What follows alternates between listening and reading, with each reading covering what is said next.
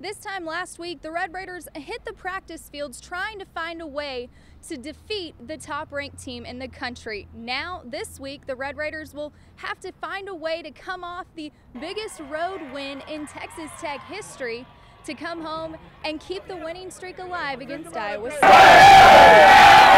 It was big. We enjoyed it and started our preparation yesterday and today to get ready for this week because we know we can't we can't live on that. We got to we got to forget about this one. Uh, it's over. You know, it was it was awesome. It was something that you know we'll remember for the rest of you know our lives. Zone one more. Getting it. Oh my! Touchdown.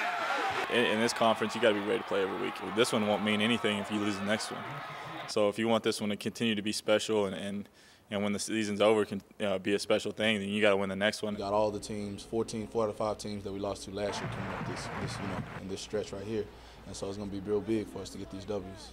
The Oklahoma win was definitely a step closer to this young Texas Tech squad's ultimate goal. However, as all coaches will tell you, the biggest game on tap is the one next. And in this case, it's Iowa State who has yet to win in Big 12 play.